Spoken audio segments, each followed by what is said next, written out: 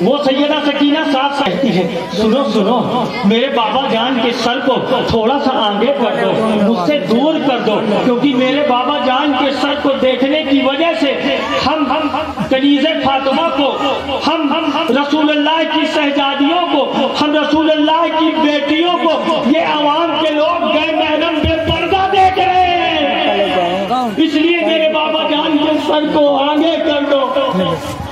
اور آج میری بہن سیدہ سکینہ سے دس نہیں لے رہی۔ وہ ننھی سی چال سات آٹھ سال کی عمر۔ اور اتنا جذبہ اسلام دل میں بھرا ہوا ہے۔ آج چند سامان لے کر ڈھول بازوں کی تھاپ کے ساتھ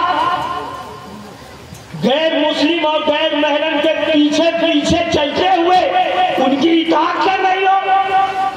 تمہیں ان کی اطاعت نہیں کرنا تمہیں اطاعت رسول کرنا ہے تمہیں اطاعت مصطفیٰ کرنا ہے تمہیں اطاعت اہل بیت کرنا ہے تمہیں اطاعت سیدہ فاطمہ کرنا ہے تمہیں اطاعت سیدہ زینب کرنا ہے سیدہ کلثوم کرنا ہے سیدہ مریم کرنا ہے ام حبیبہ کرنا ہے ام زبیریہ کرنا ہے ازواج متحرات مصطفیٰ سے تمہیں درس حاصل کرنا ہے تبھی تمہاری زندگی کامیاب ہو سکتی ہے۔ تبھی تمہاری بیٹ تمہارے بیٹے نافرمان نہیں ہوں گے۔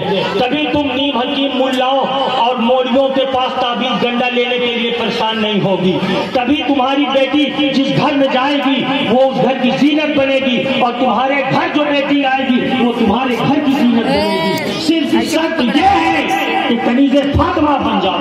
اور تم، اے نوجوانوں جس فاسد معلم سے جنگ امام حسین نے لڑی۔ امام حسین کو کیا ضرورت تھی؟